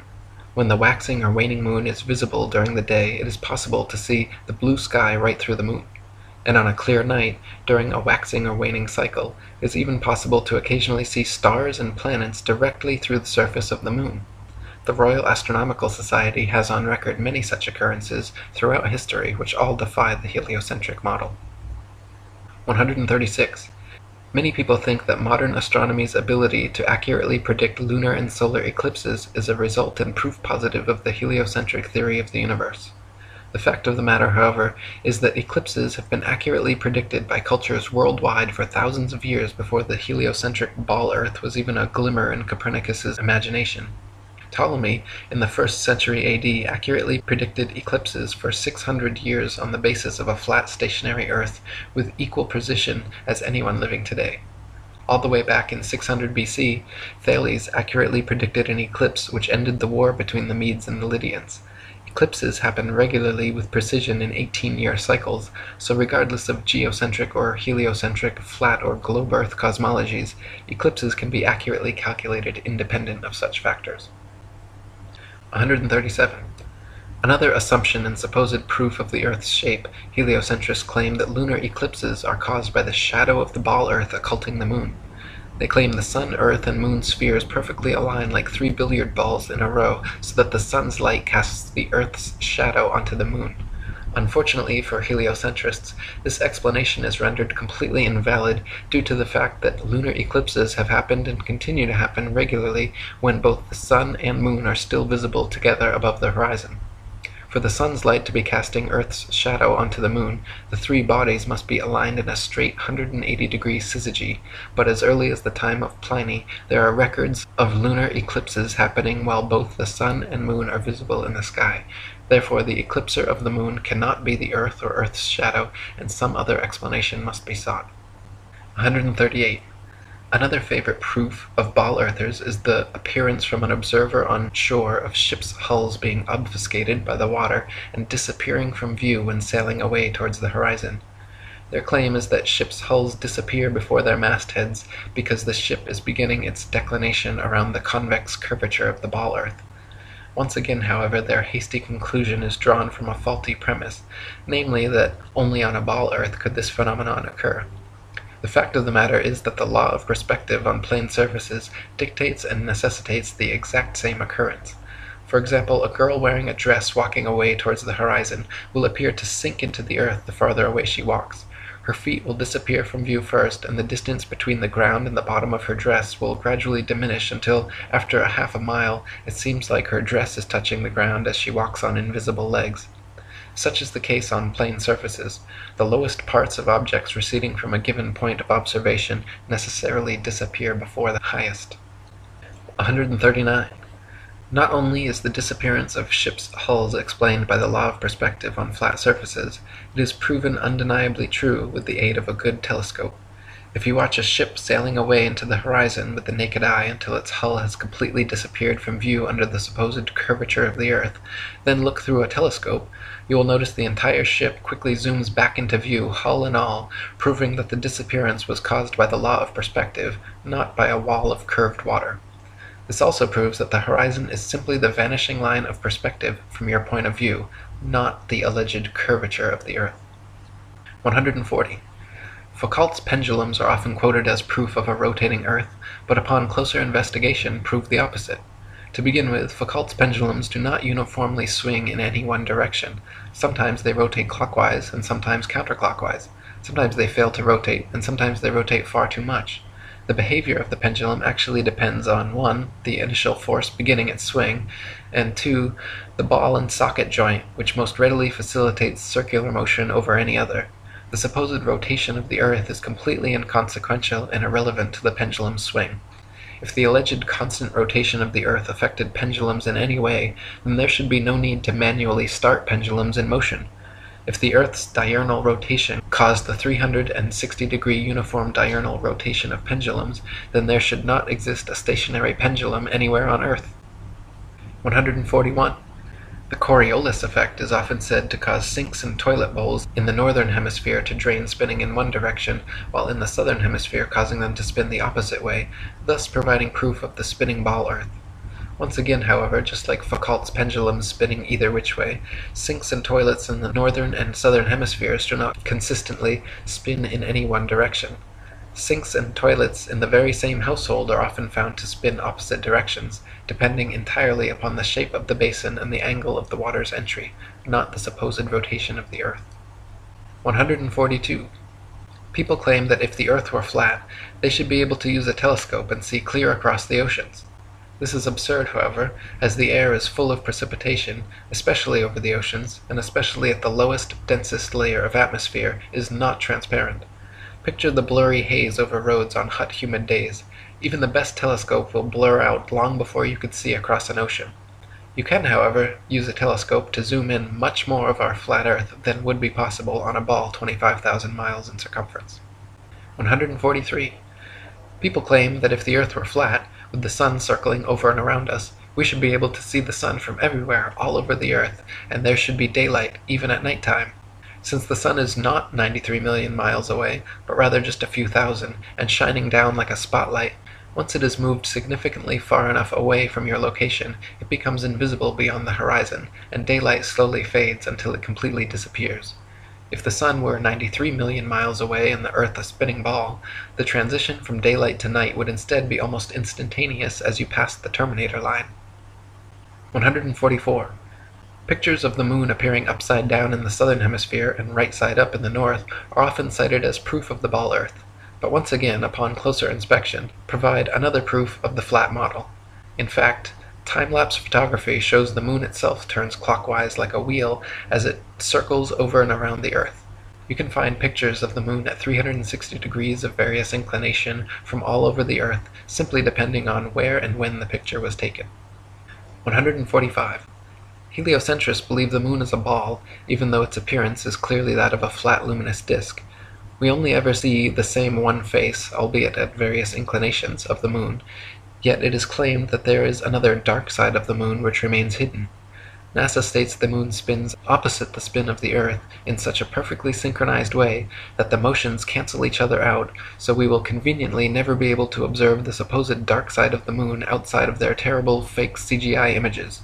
The fact of the matter is, however, if the moon were a sphere, observers in Antarctica would see a different face from those at the equator, yet they do not. Just the same flat face rotated at various degrees. 146. The ball Earth model claims the moon orbits around the Earth once every 28 days, yet it is plain for anyone to see that the moon orbits around the Earth every single day. The moon's orbit is slightly slower than the sun's, but follows the sun's same path from tropic to tropic, solstice to solstice, making a full circle over the Earth in just under 25 hours. 147. The ball Earth model claims the sun is precisely 400 times larger than the moon and 400 times further away from Earth, making them falsely appear exactly the same size. Once again, the ball model asks us to accept as coincidence something that cannot be explained other than by natural design. The sun and moon occupy the same amount of space in the sky and have been measured with sextants to be of equal size and equal distance, so claiming otherwise is against our eyes, experience, experiments, and common sense. 148. Quoting Earth Not a Globe by Samuel Rowbotham, it is found by observation that the stars come to the meridian about four minutes earlier every 24 hours than the sun, taking the solar time as the standard. This makes 120 minutes every 30 days and 24 hours in the year, hence all the constellations have passed before or in advance of the sun at that time. This is the simple fact as observed in nature, but the theory of rotundity and motion on axes and in an orbit has no place for it. Visible truth must be ignored because this theory stands in the way, and prevents its votaries from understanding it. 149.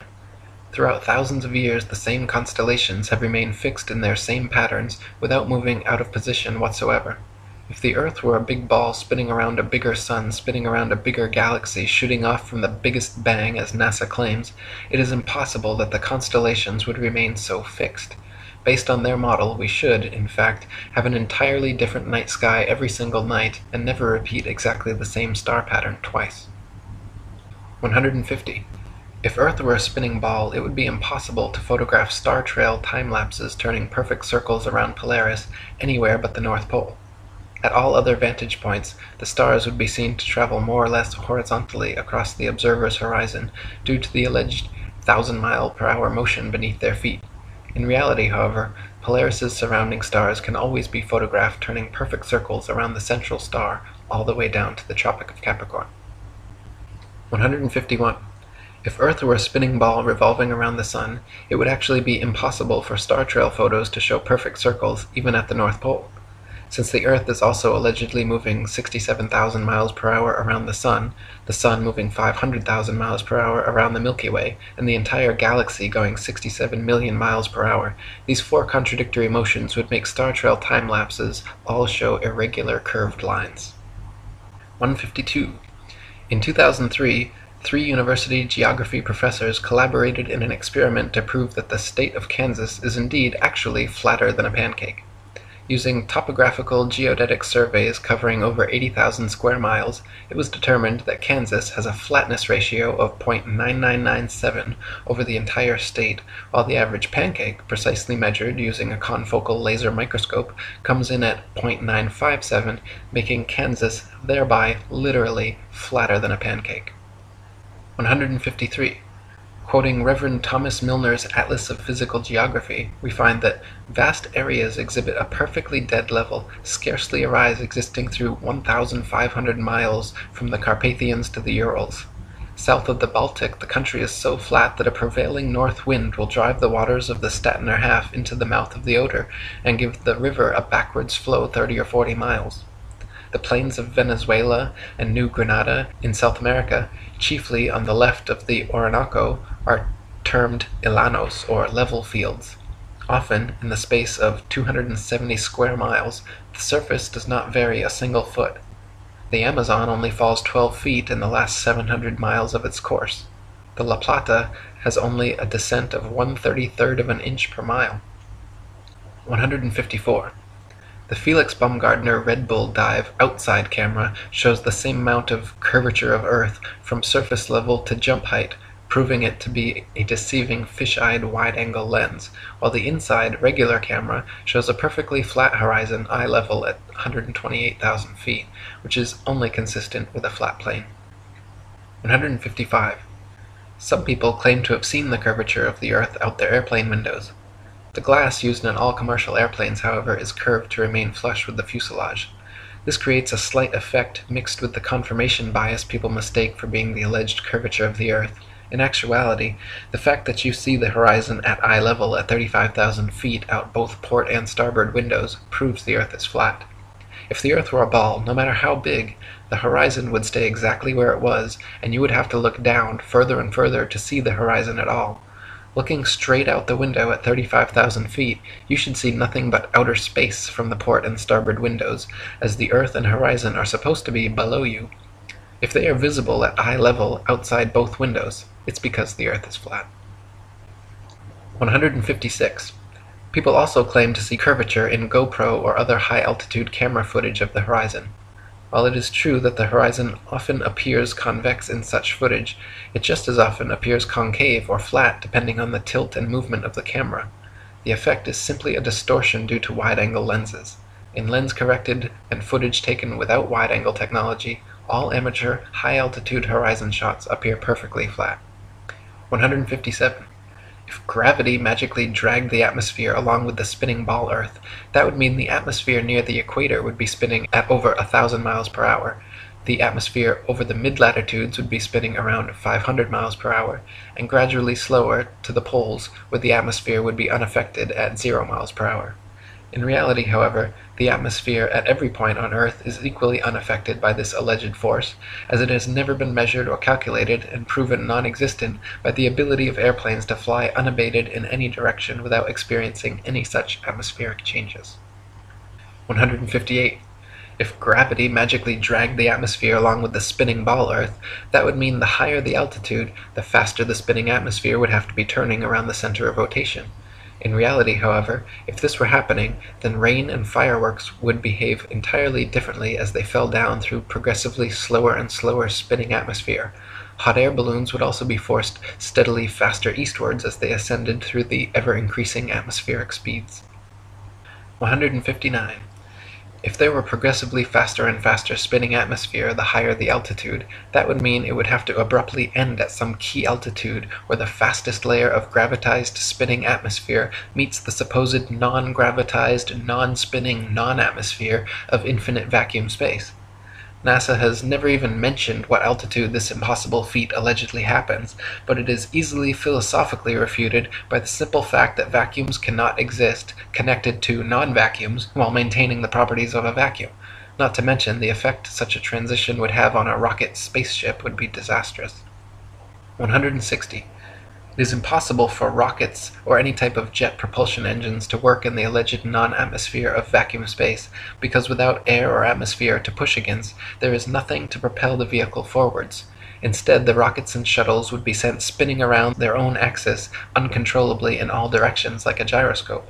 It would be impossible to fly to the moon or go in any direction whatsoever, especially if gravity were real and constantly sucking you towards the closest, densest body. 161. If Earth were really a ball, there would be no reason to use rockets for flying into outer space anyway, because simply flying an airplane straight at any altitude for long enough should and would send you off into outer space. To prevent their airplanes from flying tangent to the ball Earth, pilots would have to constantly course correct downwards, or else within just a few hours the average commercial airliner traveling 500 miles per hour would find themselves lost in outer space.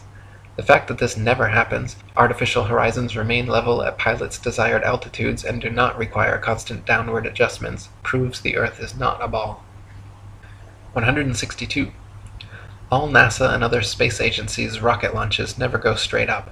Every rocket forms a parabolic curve, peaks out, and inevitably starts falling back to Earth.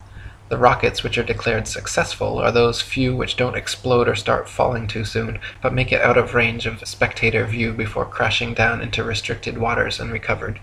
There is no magic altitude where rockets or anything else can simply go up, up, up, and then suddenly just start free floating in space. This is all a science fiction illusion created by wires, green screens, dark pools, some permed hair, and zero G planes. 163. NASA and other space agencies have been caught time and again with air bubbles forming and floating off in their official outer space footage. Astronauts have also been caught using scuba space gear, kicking their legs to move, and astronaut Luca Parmitano even almost drowned when water started filling up his helmet while allegedly on a spacewalk. It is admitted that astronauts train for their spacewalks in underwater training facilities like NASA's Neutral Buoyancy Lab, but what is obvious from their space bubbles and other blunders is that all official spacewalk footage is also fake and filmed underwater. 164. Analysis of many interior videos from the International Space Station have shown the use of camera tricks such as green screens, harnesses, and even wildly permed hair to achieve a zero-gravity type effect. Footage of the astronauts seemingly floating in the zero gravity of their space station is indistinguishable from Vomit Comet zero-G airplane footage. By flying parabolic maneuvers, this zero-G floating effect can be achieved over and over again, then edited together. For longer uncut shots, NASA has been caught using simple wires and green screen technology. 165. NASA claims one can observe the International Space Station pass by overhead, proving its existence. Yet analysis of the ISS seen through zoom cameras proves it to be some type of hologram or drone, not a physical floating space base. As you can see in my documentary ISS Hoax, when zooming in and out, the ISS dramatically and impossibly changes shape and color, displaying a prismatic rainbow effect until coming into focus, much like an old television turning on and off. 166. The geostationary communications satellite was first created by Freemason science fiction writer Arthur C. Clarke and supposedly became science fact just a decade later. Before this, radio, television, and navigation systems like LORAN and Decca were already well established and worked fine using only ground-based technologies. Nowadays, huge fiber optic cables connect the internet across oceans, gigantic cell towers triangulate GPS signals, and ionospheric propagation allows radio waves to be bounced all without the aid of the science fiction bestseller known as satellites. 167. Satellites are allegedly floating around in the thermosphere, where temperatures are claimed to be upwards of 4,530 degrees Fahrenheit. The metals used in satellites, however, such as aluminum, gold, and titanium, have melting points of 1221, 1948, and 3034 degrees respectively, all far lower than they could possibly handle. 168. So-called satellite phones have been found to have reception problems in countries like Kazakhstan with very few cell phone towers. If the Earth were a ball with 20,000 plus satellites surrounding, such blackouts should not regularly occur in any rural countryside areas. 169. So-called satellite TV dishes are almost always positioned at a 45 degree angle towards the nearest ground-based repeater tower. If TV antenna were actually picking up signals from satellites 100 plus miles away in space, most TV dishes should be pointing more or less straight up to the sky. The fact that satellite dishes are never pointing straight up, and almost always positioned at a 45 degree angle, proves they are picking up ground-based tower signals and not outer space satellites. 170. People even claim to see satellites with their naked eyes, but this is ridiculous considering they are smaller than a bus and allegedly 100 plus miles away. It is impossible to see anything so small that far away. Even using telescopes, No one claims to discern the shape of satellites, but rather describes seeing passing moving lights, which could easily be any number of things, from airplanes to drones to shooting stars or other unidentified flying objects. 171. NASA claims there are upwards of 20,000 satellites floating around Earth's upper atmosphere, sending us radio, television, GPS, and taking pictures of the planet. All these supposed satellite pictures, however, are admittedly composite images edited in Photoshop. They claim to receive ribbons of imagery from satellites which must then be spliced together to create composite images of the Earth, all of which are clearly CGI and not photographs. If Earth were truly a ball, with 20,000 satellites orbiting, it would be a simple matter to mount a camera and take some real photographs.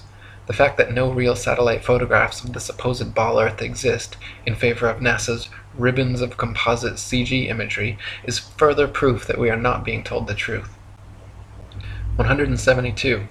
If you pick any cloud in the sky and watch for several minutes, two things will happen. The clouds will move and they will morph, gradually changing shape.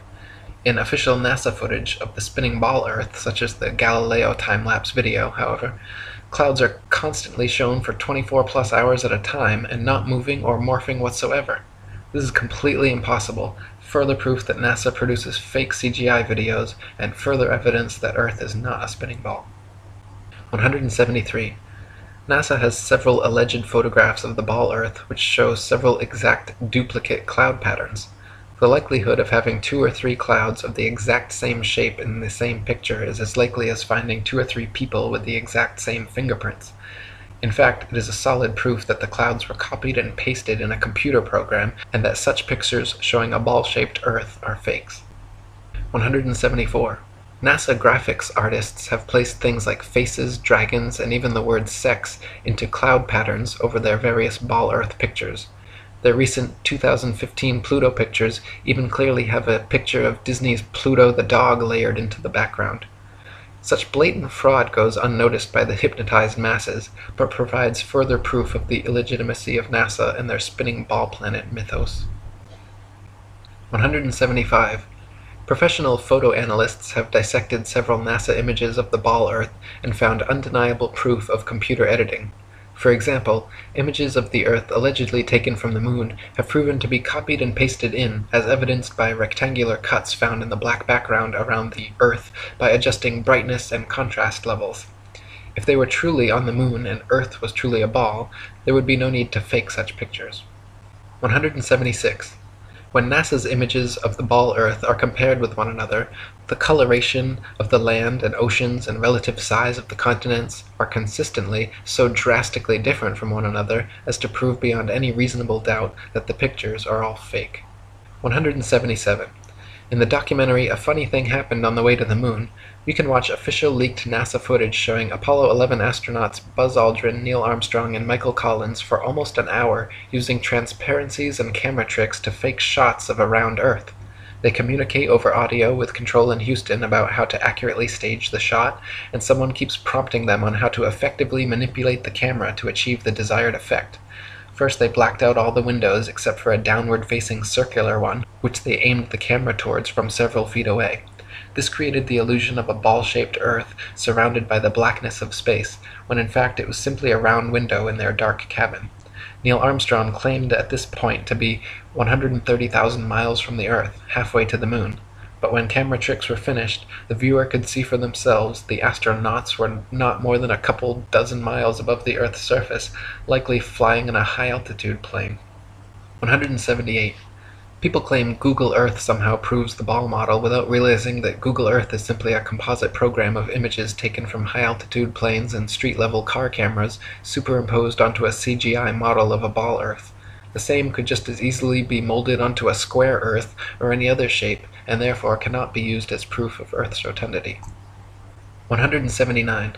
If the Earth were constantly spinning eastward a thousand miles per hour, then airplane flight durations going eastward versus westwards should be significantly different.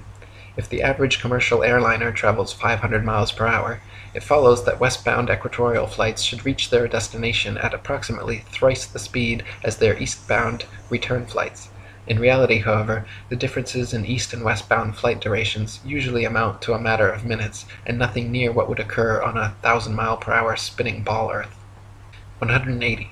The spinning ball model dictates that the Earth and atmosphere would be moving together at approximately 500 miles per hour at the mid-latitudes where LA to New York City flights take place.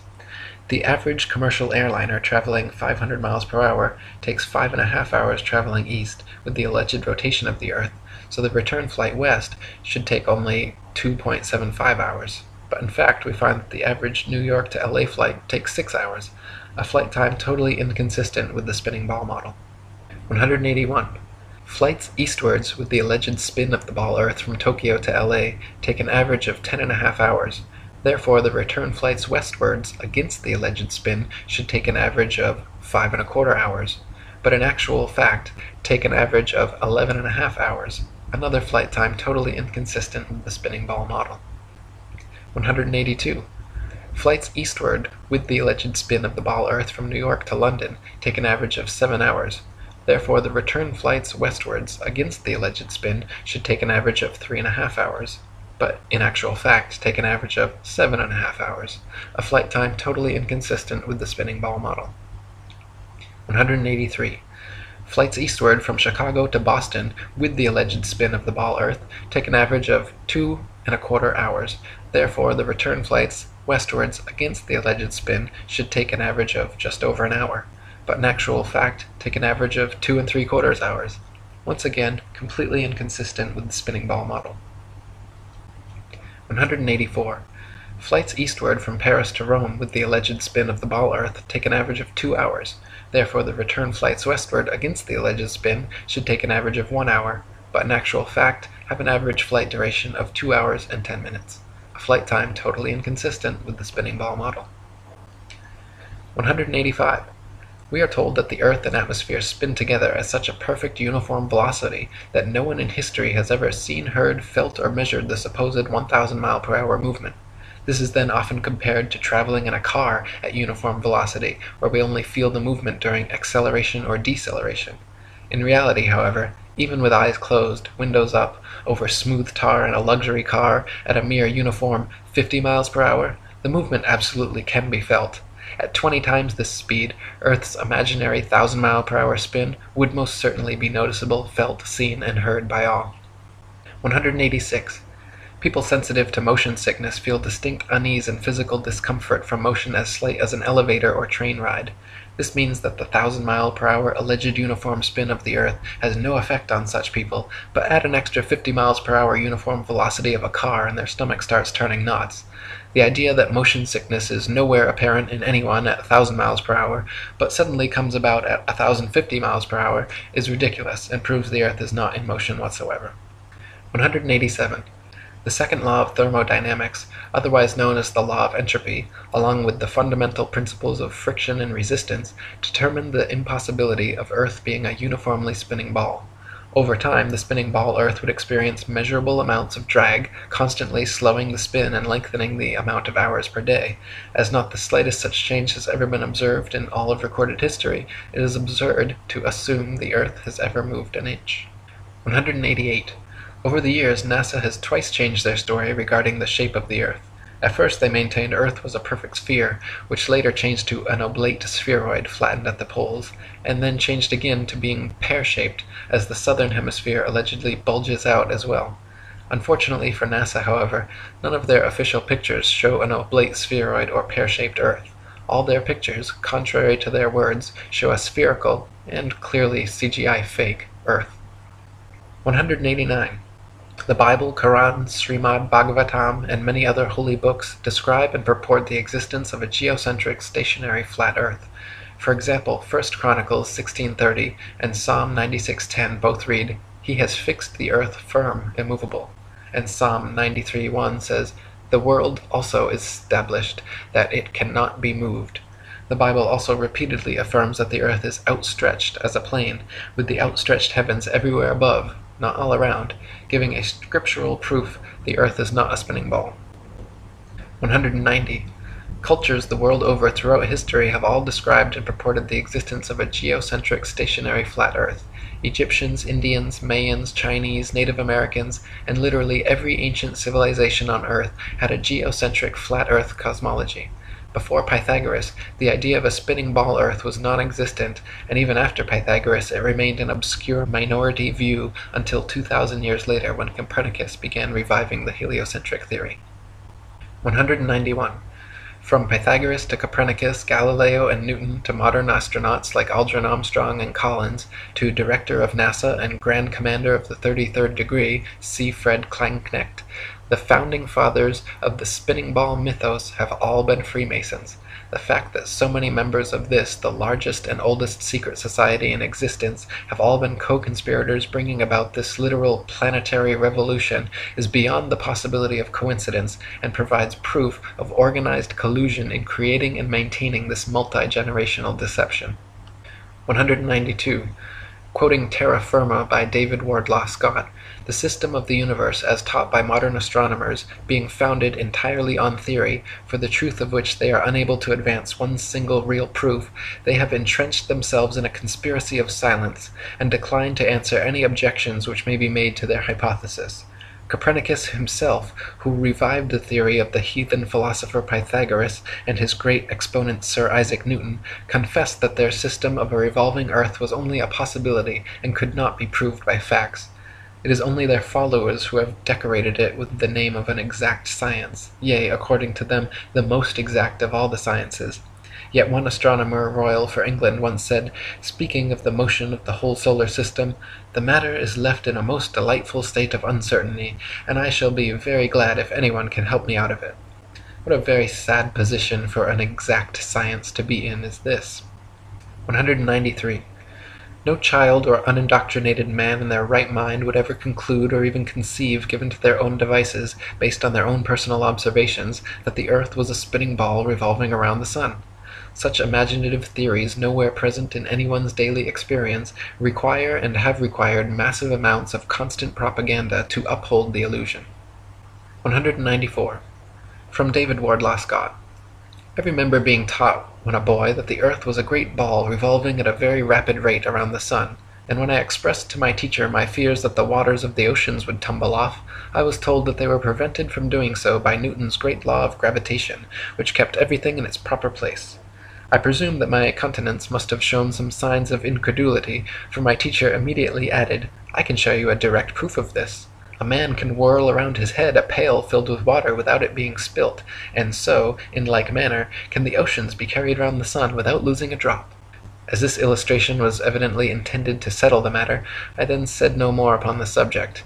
Had such been proposed to me afterwards as a man, I would have answered somewhat as follows.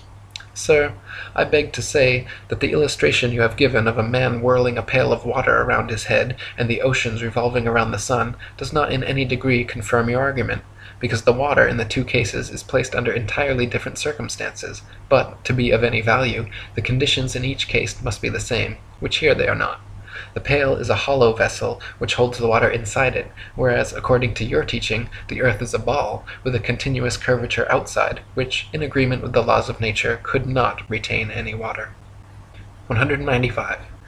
Astronomers say the magical magnetism of gravity is what keeps the oceans of the world stuck to the ball earth. They claim that because the earth is so massive, by virtue of this mass it creates a magic force able to hold people, oceans, and atmosphere tightly clung to the underside of the spinning ball.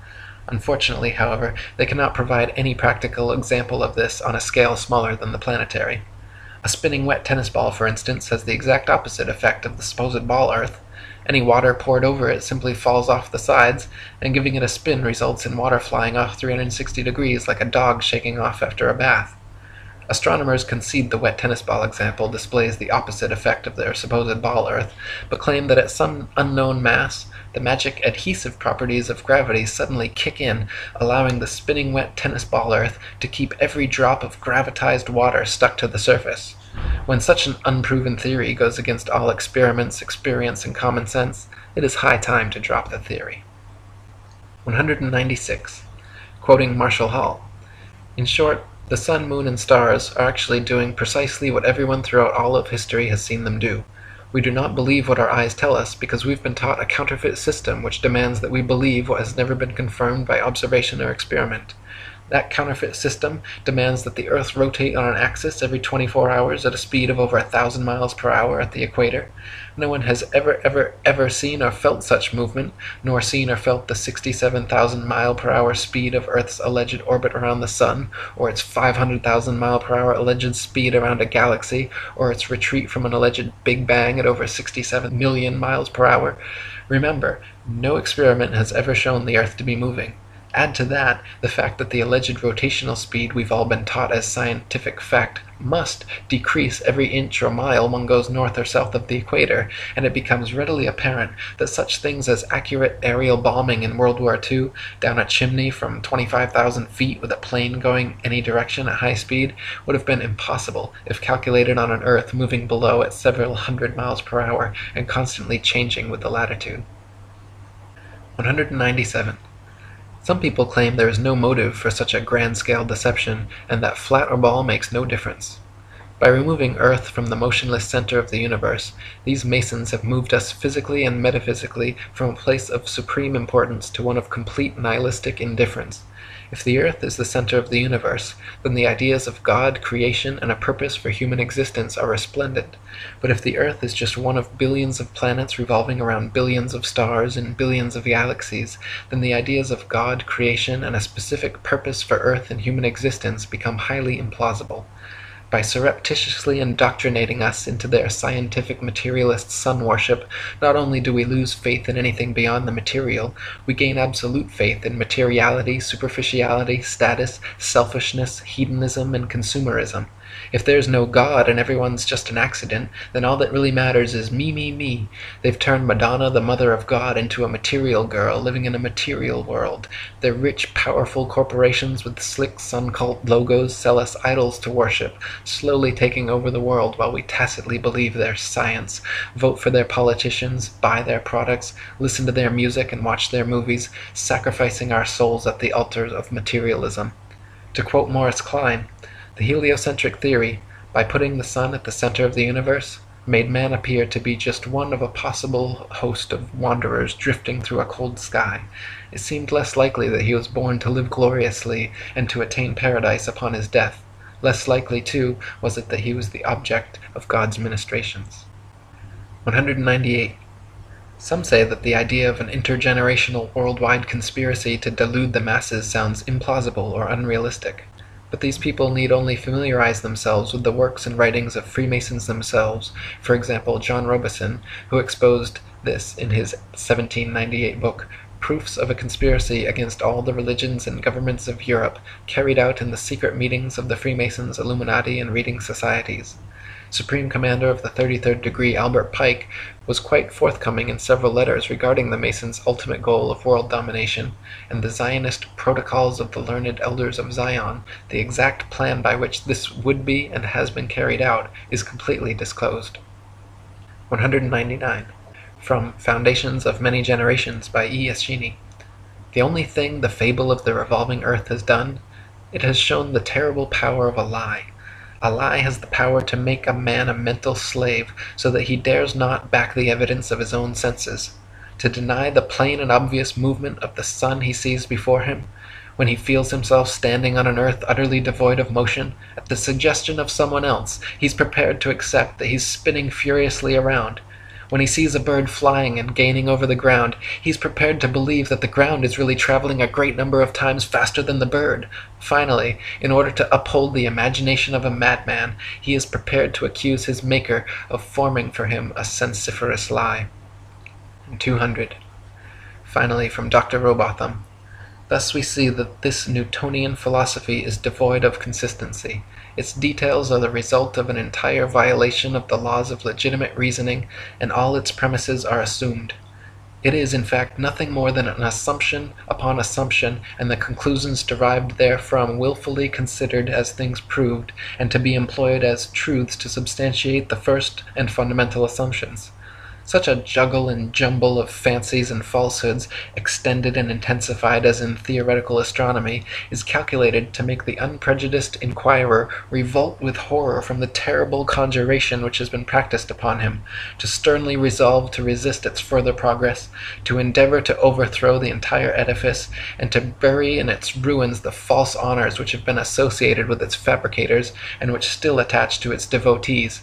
For the learning, the patience, the perseverance, and devotion for which they have ever been examples, honour and applause need not be withheld; but their false reasoning, the advantages they have taken of the general ignorance of mankind in respect to astronomical subjects, and the unfounded theories they have advanced and defended, cannot be otherwise than regretted, and ought to be by every means possible uprooted.